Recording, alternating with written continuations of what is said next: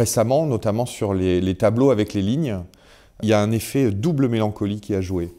Le premier effet de mélancolie, c'est que beaucoup des paysages dont je me suis servi, c'est des paysages de mon, de mon tour du monde, de mon premier, qui, euh, plus le temps passe, plus le souvenir de ce voyage, qui a été fantastique, qui a duré six mois, qui était euh, une merveilleuse fuite comme ça euh, vers des horizons infinis, j'ai une très grande nostalgie de, ce voyage.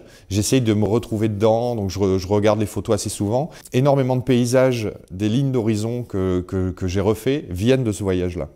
Et le double effet de mélancolie qu'il a eu, c'est que euh, c'est aussi un souvenir de peinture maintenant. C'est-à-dire que reprendre les lignes dix ans après, c'est reprendre un souvenir de peinture. Quand on commence à avoir un certain recul vis-à-vis de sa pratique, puisque ça va faire 20 euh, ans que je suis peintre, on va dire, pour faire un raccourci, en 20 ans de peinture, on commence à avoir un recul sur son travail, une nostalgie sur le travail, une mélancolie aussi sur le travail.